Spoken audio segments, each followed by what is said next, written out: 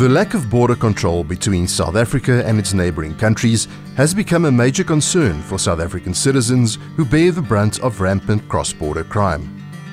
The lack of secure borders does not only affect border communities but has an impact countrywide, as many crimes that occur in other parts of the country can also be traced back to cross border smuggling syndicates.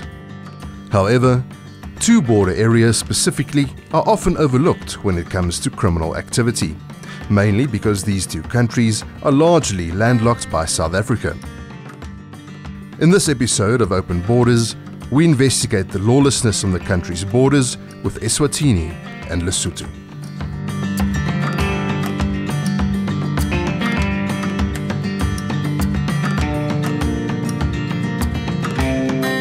The border between South Africa and Eswatini, formerly known as Swaziland, stretches 430 kilometers to the north, west, south, and southeast, and comes to an end towards the northeast, where Eswatini borders Mozambique.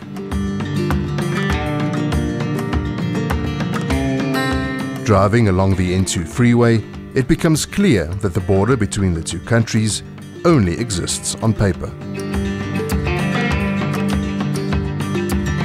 Is Swaziland, and where we're driving at the moment is the N2 National Freeway in South Africa. And this is the border. There's, there's, there's nothing separating these two countries.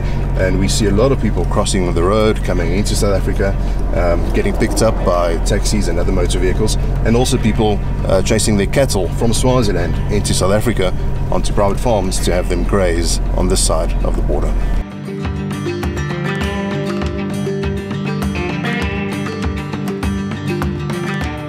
Border control in the area close to Pongola in KwaZulu-Natal is so poor that it is common for residents of Eswatini to send their children to schools in South Africa by simply hopping over the fence on a daily basis.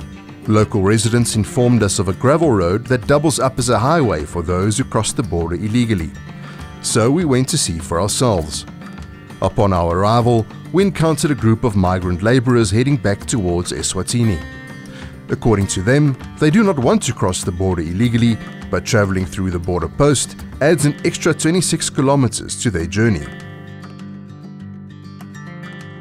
Ironically, the road that they now use to cross the border passes right by a South African Defence Force base that is tasked with patrolling this border.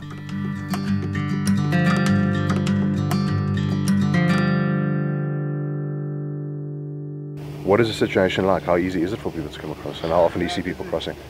Well, basically, this is the main thoroughfare that goes down here, running north to south. Um, that's obviously on the northern border. There's an army camp just down there. They uh, pretty much allow everybody just to walk through the border, and but the farmers only allow people to come here. Some of these, um, from what I understand, some, some of the, the people who live in, on the Eswatini side even send their kids to school in South Africa. How does that work? Well, I'm not sure how it works, but it happens. I mean, they, they come through here literally on a daily basis. And early in the morning, they'll start coming through from about half past six, seven o'clock, and they'll be starting to go home pretty much any time shortly now. You guys have set up roadblocks on there before, and you found some interesting things. What are, what are some of the contraband that you've come across? Yeah, during July last year, during the riots, obviously with working with the police and the SANDF, we shut down all the roads in and out of Pongola. Um, at one stage we had 700 trucks parked off in Pongola overnight that couldn't get in or out because of the road closures. Um, and we were instructed to search all vehicles coming into Pongola. We found probably around about four to five million rands worth of dagga in the space of four days coming in. Uh, it was packed in cabs of trucks. It was packed in the back of bakkies, It was loaded into the back of trucks. It was in boots of cars. It was you name it. That's how they transport it.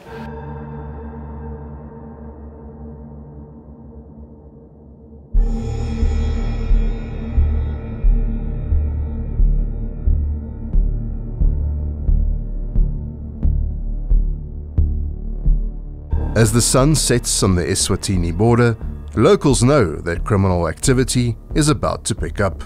Farmers on the border are at their wits' end due to law enforcement's disinterest in performing their duties.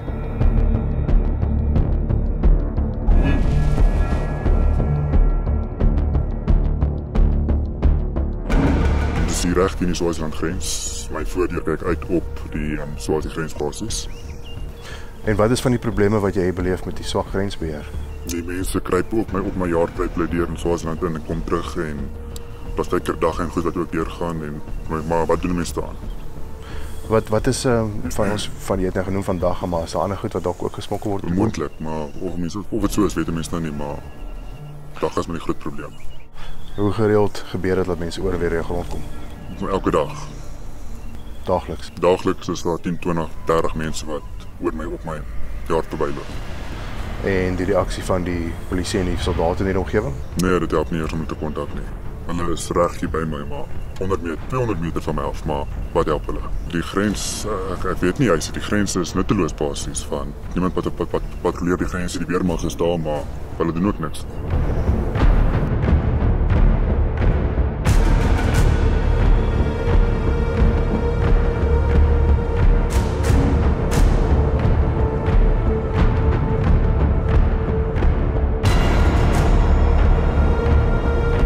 Illegal immigration and smuggling are not the only causes for concern. Crops are also frequently raided during the night.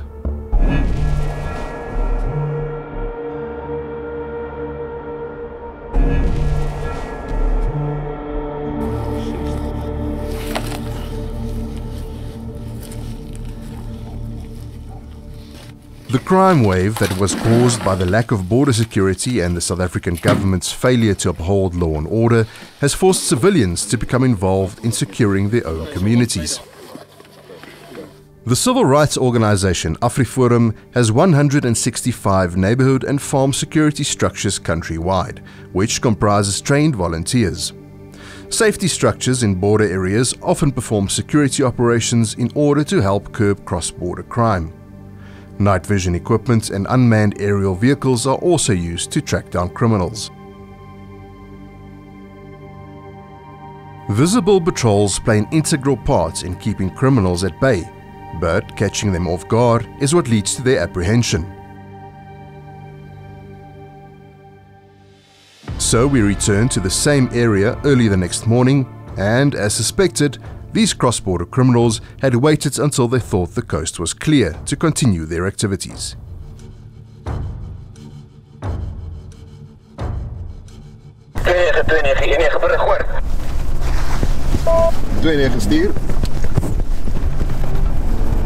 Stuur. 2919 ons het 'n uh, paar verdagtes gesien met sakke op die op die plaasboer se plaas waar ons gisterand in gewag het. Uh, is vermoedelik uh, smokkelaars met dag op hulle ry. Uh, ons is nou op pad na die een punt toe beweeg van my asseblief af al die pad langs die rivier af in 'n regtelik in 'n oostelike rigting uh, na die punt toe waar ons hulle gisterand voorgelê het. So ontvang hoor. 29 so ontvang ons bied bystand. Ons is op pad oor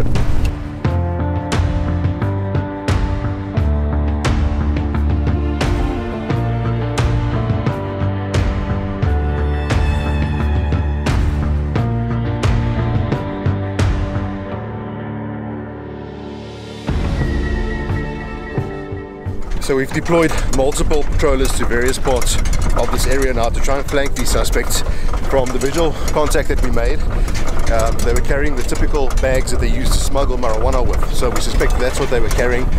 Um, but the challenge is that these smugglers know these areas very well. They know these private farms like the back of their hands, even though they're not really supposed to ever set foot here. Many of them grew up in the area and they know exactly how to get away quickly and how to get across the border quickly, which obviously makes it very challenging to catch these guys once they're on the run. Nou, is die teen in die rivier en nou. Okay, volg die bank. Kan wees. zei die hier van ah, we gaan in Swaziland in die goot. Dan weer daar zo met hom hardloop want sy is absoluut op pad terug.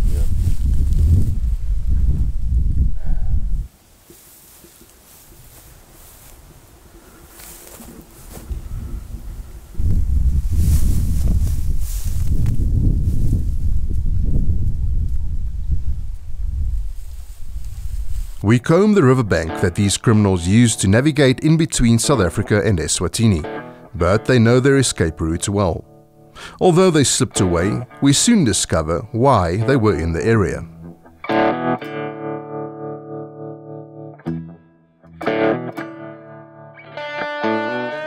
So this is mind blowing. Some of these smugglers have now come up with the ingenious idea to minimize their risk of getting caught with marijuana while crossing the border. They've now started sneaking onto private farms in the South African side and started dagga and marijuana plantations on these private properties, hidden in little alleyways and valleys under trees where they hope the farmers wouldn't find it. And in that way, they don't take any risk of getting caught bringing the marijuana across the border. It's absolutely insane. Look at this.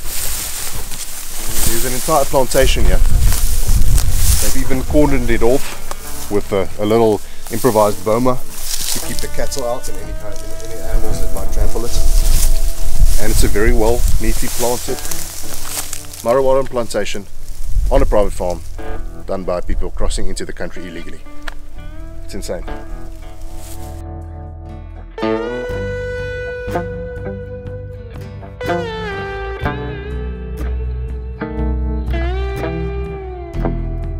These criminal activities, however, are not limited to illegal marijuana farming.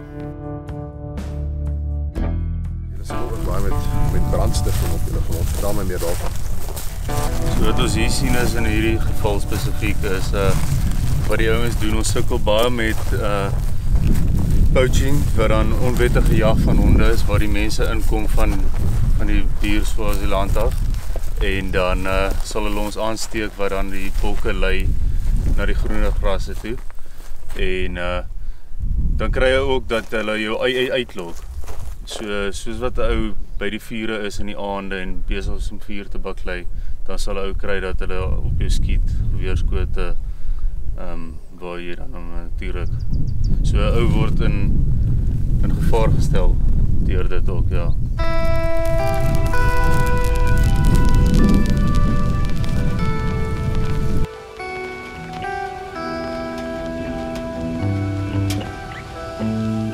Farmers on the border have often erected expensive security fences at their own cost, only to have the wire and fence poles stolen. They have now resigned themselves to relying on rudimentary fences to at least try and keep their livestock from being herded across the border.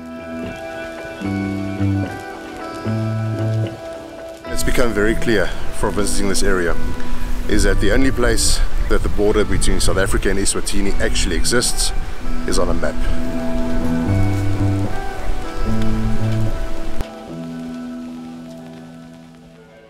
We depart from the Eswatini border and head southwest towards the mountain kingdom of Lesotho. The border of Lesotho is a 909 kilometer stretch of rivers and valleys that are entirely surrounded by South Africa. Here we once again encounter a familiar story. The responsibility of patrolling the unmaintained border roads have again fallen on the shoulders of local civilians and farmers who must use their own resources to do the South African government's work.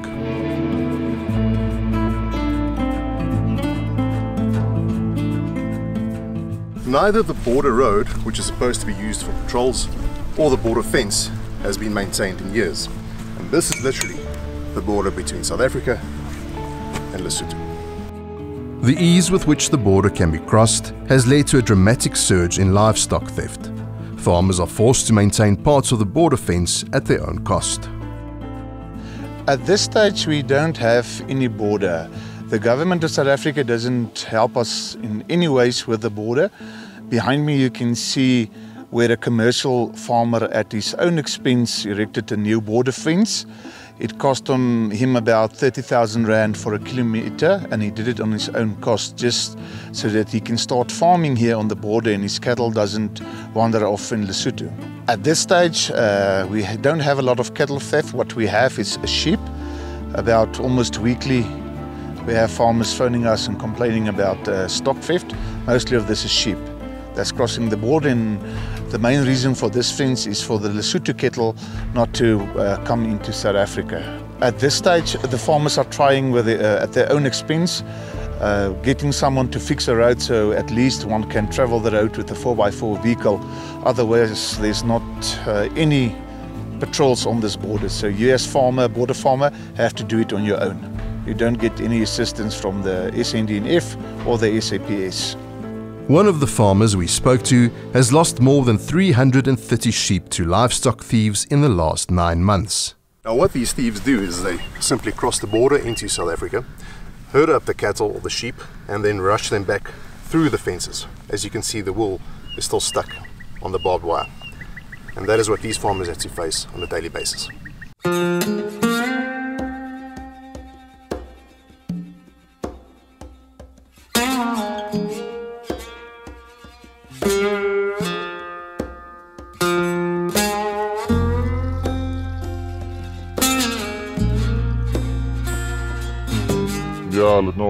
Keer by my kom skaap steel as so 70, 80, dit keer 50 op slag. Baie keer is dit ooe met lammers. Waar lammertjies wat hulle eenvoudig net op die pad doodslaan. En die lammers hou nie by nie of die ooe draai om om na hulle lammers te soek. Ehm um, baie keer was dit dragtige ooe dat ek nou van hulle weer met die Lesotho se uh, polisie en weermag ondersteuning van hulle kant af gekry het ons 'n paar terugkry. Wanneer die ooe in geval rapporteer daarna van die skop want hulle word vir dae toegemaak en in ou huise en krale sonder kos en water voor ons hulle terugkry of van hulle terugkry. Dis rande wat hulle hierdie kant hulle wegsteek met hulle bosse krale bou, dan steek hulle daar vir 'n paar en sonder kos en water. So die cruelty daar is is is is, is vreeslik. The ease with which South Africa can be entered from the Lesotho side also has widespread consequences in other parts of the country, especially in mining areas. Zama Zamas, the infamous illegal mining gangs from Lesotho, have infiltrated vast areas of Gauteng with their illegal mining operations. It has been reported that these gangs form the largest organized crime syndicates in South Africa. Their activities include murder, sabotage, and sexual assault. Although the South African Police Service has executed raids on these operations before, there seems to be no desire to prevent these criminals from entering the country in the first place.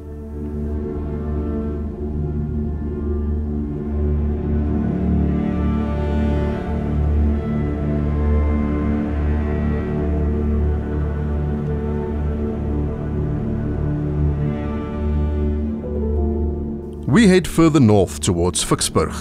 In this region, livestock smugglers from Lesotho have even set up permanent residence in South Africa on a piece of municipal land. According to our sources, these smugglers remain protected for as long as municipal officials get their share of the revenue. We decided to pay them a visit, but as expected, no one was in the mood to speak to us. There are literally thousands of heads of livestock grazing on this municipal piece of land, but who they rightfully belong to or should belong to is difficult to establish. Okay, so we can see this one has been branded. It's that WT plus sign. There are many, many, many Lesotho citizens with registered brand marks in South Africa.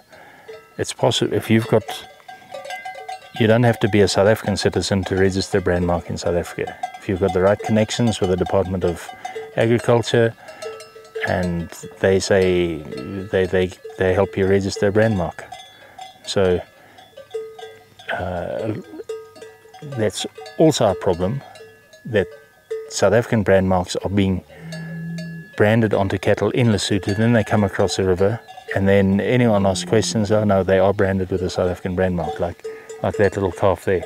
Most of these cattle aren't branded, but you, know, the second they steal something from you, they brand it with their brand mark that's registered in South Africa, but it's the owner doesn't live in South Africa. He's up in the mountains in Lesotho, so you can't even go look for him if you need him. The involvement of municipal officials and law enforcement in the smuggling of livestock is a problem that farmers have been dealing with for a long time.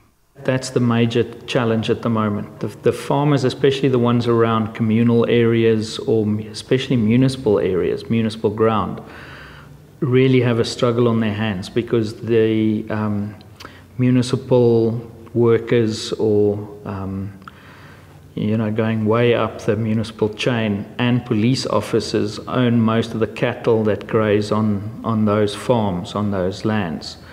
So if you find stolen cattle there, or if you know stolen cattle is loaded there, you can never determine who the owner is, um, who which cattle belongs to who.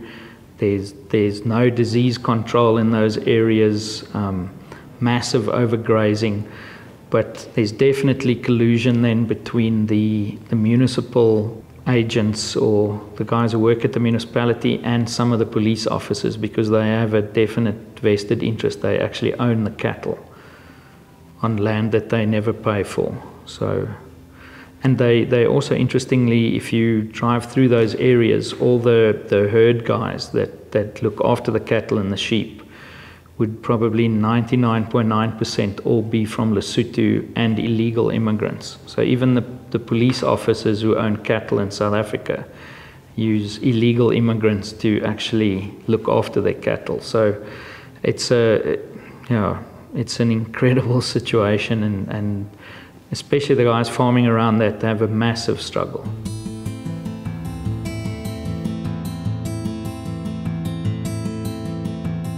The corruption is not limited to grazing lands. The use of the border post in the town of Ficksburg also seems to be an option merely for those who choose to obey the law. So we've got information that there's a lot of smuggling that's taking place right next to the border post um, inside Ficksburg town and apparently a lot of border officials um, are involved with this corruption. So we're trying to see how close we can get and see if we can get anything on camera.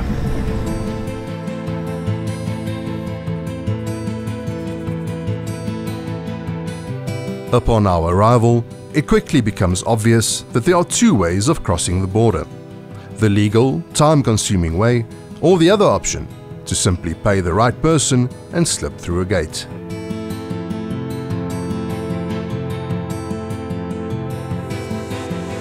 This gentleman just crossed into the country from Lesotho uh, illegitimately. We saw him do it. Um, he's not willing to speak to us, but we saw it happen. It's uh, very easy. It's a free for all, and um, there's no control here.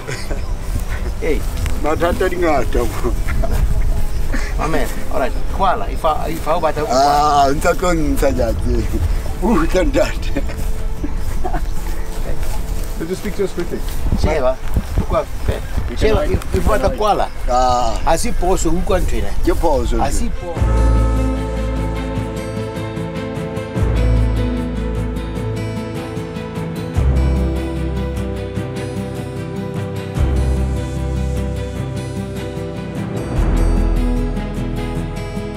Cross-border criminals have also made a habit of targeting infrastructure, stealing electricity and telephone poles, electric cables, and once again, fences.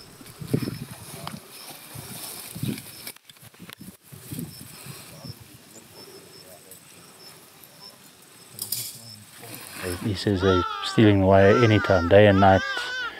Um, if he's not here watching, then they come across from Lesotho and steal the wire. And do they steal it in order to do something with the wire, or is it just simply to make space for them to run cattle and stock? Ha ona hana trata e bona ba e sebedisa kae. E- Kore ba ba e utswa ho senyetsa kapa ba e utswa ho e sebedisa. so ke bona ka nako nngwe ba ba itswa go a e go a e rekisa ba lo e rekisa ba fitlha ka lesotho ka kwa se gore ba ba itswa e le go ba lo e sebedisa yena self Uh, he, he says it- it's mainly gets stolen. Um, the guys who steal it roll it up and then go and resell it to to whoever needs wire. Could you please ask him what some of the other challenges they are facing due to this complete lack of border control? Um, you know, ntho tse ding tseo tseo teanang le tsona tse tseo fang bothata ke ke eng le eng le eng? ke tsona dikgomo le dinku Bo- boshodu ba tsona. ee bosodi ba tsona Yeah, he says it's mainly stock theft of the cattle and the sheep. Um, the, the risk of getting them stolen and them stealing them. Um, o- ba se- ba sela ba ba utswa tsa ee gagolo ba sa ile ba utswa dinku. Tse kae i'm sure it's about 20 yeah, so yeah, he says it's it's they've stolen a lot of his sheep. He thinks there are about 20 that they've stolen over the over the last little while. Um, he hasn't had cattle stolen yet but a yeah, he says he crawls everything at night and then he's ga ngata ba di ga di ka ba mo gwa ba le- motho mo ba di o motho a di He says even in daylight, unless you've got somebody guarding the sheep during the daytime, they'll steal the sheep here from the veld, out of the veld. And before you know it, it sheep gone.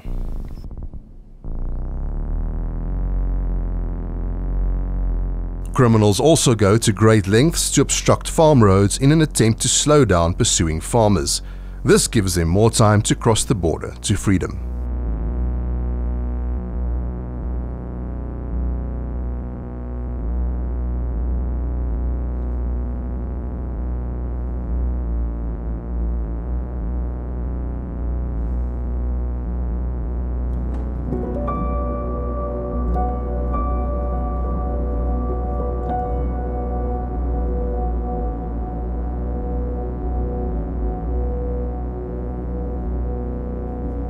Even sabotaged power lines are used for this purpose.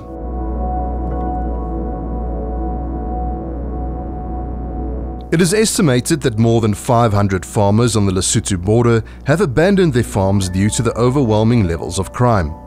Farmers on the Caledon River have been hit the hardest.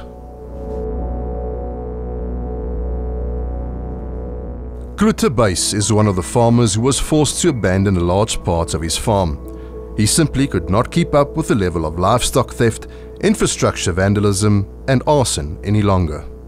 Ek dink op hierdie stadium is ons enigste hoop, 'n bietjie hoop wat ons het is die rivier want jy kan staat maak op die rivier. Hy hy gee dan vir jou hoop dat daar daar 'n kans is dat jy bietjie beter vir 'n week of twee weke of baie keer 'n maand as hy lekker sterk loop dat jy meer met 'n geruste hart kan kan aangaan dat jy nie in die aande hoef rond te ry en te seker te maak nie want hy gee vir jou daai sekerheid. So die rivier het het in 'n mate vir ons gee vir ons meer hoop as wat as wat ons kan kry wat ons moet kry uit um polisie uit of weermag uit. Livestock farmers from Lesotho have also come up with creative ways to abuse the open border by illegally mating their cows with highly prized bulls on the South African side. And one of the other problems that we've got is, um, you know, biosecurity. We try and enforce biosecurity with our labourers and vehicles and trucks that's dirty and as far as we can. But then the next morning the farm worker will phone you and say, listen, the fence is cut and there was cattle between our cattle again. If you do a bit of investigation, it's a matter of that they bring their cows over and they use your, which they obviously know or presume it's the better genes that you bought on an auction, and they just bring their cows over and they mate them with your bulls. And we, we do have farmers that getting into a, a battle where they had to bleed their cows for all sorts of diseases, and all of a sudden the state comes to you and they put your farm under quarantine. And I mean, for a farmer like that to run on a zero cash flow because he can't sell any of his cattle. He needs to farm those cattle, look after them until the farm is clean. And up to then, there's no income. You can slaughter some of the cows, but they barely give you anything for them because it's under quarantine. Just recently, Smith managed to prevent 130 of his sheep from being herded across the border. Bird patrols and early warning systems are not always enough. Other, it was on this specific farm down to the Lesotho border. It was about four or five years ago. Also on the quad bike on the track. Went on the spoor all along the Caledon River. And there where they crossed the Caledon River, I got to a, it was a, it was a gruesome, it's, it's a barbaric brutality a ewe that lied on the on the bank with the blood still flowing into the Caledon River. The eyes was picked out with uh, either a piece of wire or a sharp object. And I was stunned by it and I asked around why would they do that? And the ewe was dead there on the bank. And they said no. It's the easiest way for them, especially in the dark. Was sheep will always follow one another. So they take the first ewe that they can catch.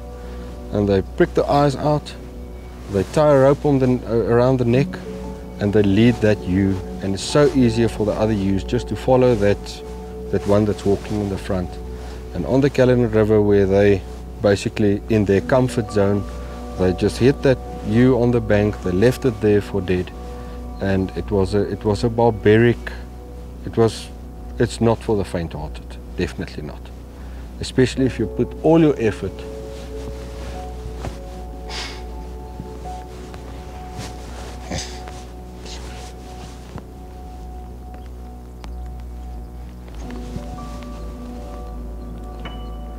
It's a passion. You put everything into it. And you come across that. It's it's not for the faint-hearted. And the next morning we must just stand up and carry on.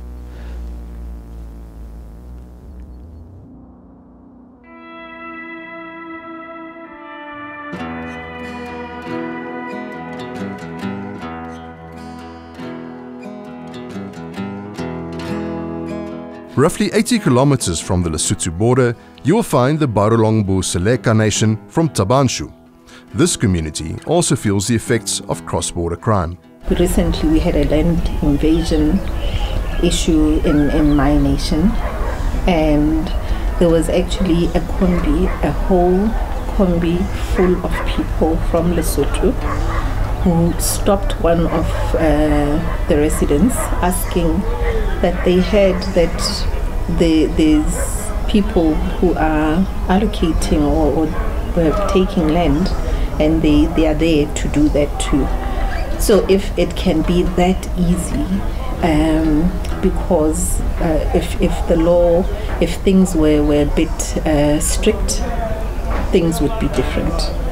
And, and yes, of course, stock theft is a nightmare for all of us. Um, it's it's very sad because there's there's a whole operation when you tend to look at how cattle and livestock can easily be taken, and sometimes without a trace.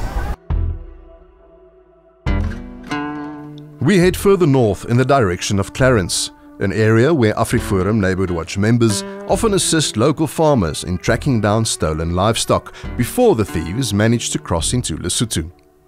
On our arrival, we receive information that Neighbourhood Watch members are getting ready to deploy to an isolated farm where livestock was stolen in the early hours of the morning.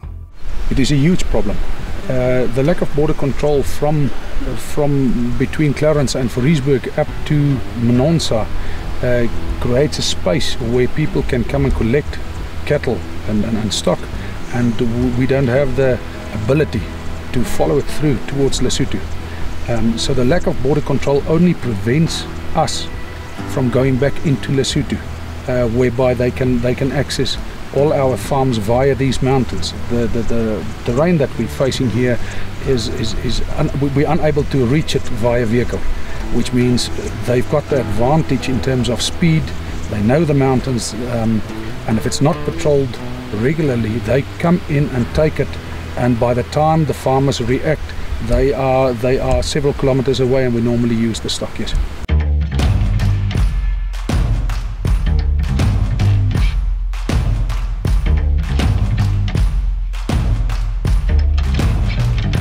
The farmer has been on the thieves' trail since daybreak, pursuing them on horseback. The AfriForum team will head to a neck in the mountain range that is often used by livestock thieves to cross over into the Caledon River Valley. And if daylight allows, the team may be able to cut them off before they cross the border. These criminals are dangerous and often heavily armed. They've also been known to leave scouts with high power rifles in strategic positions to pick off anyone who might be following them.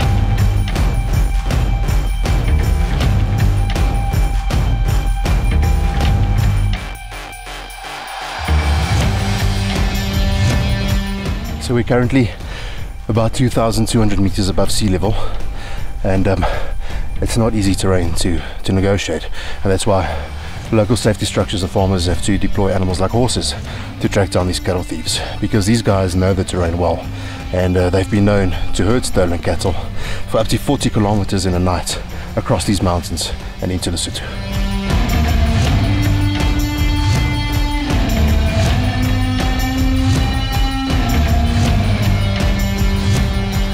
The rugged terrain also makes radio communication difficult, but we managed to receive information from the team on horseback that the thieves and stolen livestock's tracks seem to be heading in our direction.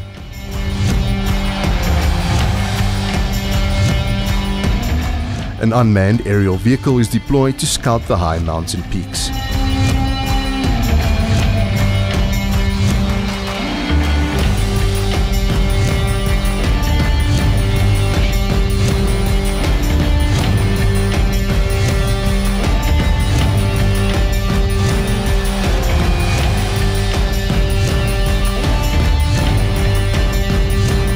Unfortunately, there is no sign of the stolen livestock.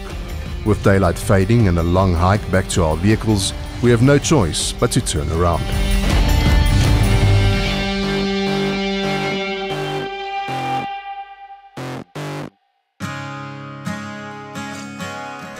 South Africa has been described as a crumbling country. And in many aspects, such as its inability to control its borders, the statement rings true. But more and more volunteers are signing up to join civilian safety structures to ensure the safety of their own communities.